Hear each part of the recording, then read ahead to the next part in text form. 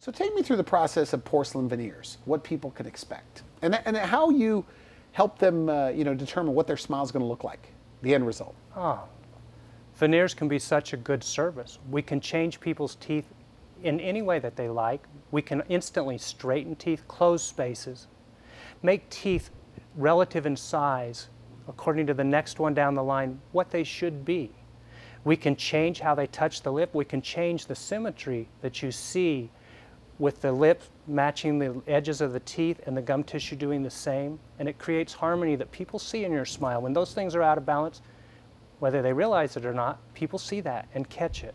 You know, we can take a before and show you what the after would look like right in the office in just a few minutes.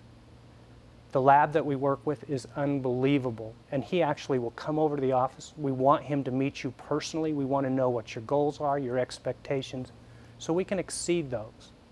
We want to know exactly the end result that you want to get. We can brighten teeth. We can make you feel more confident.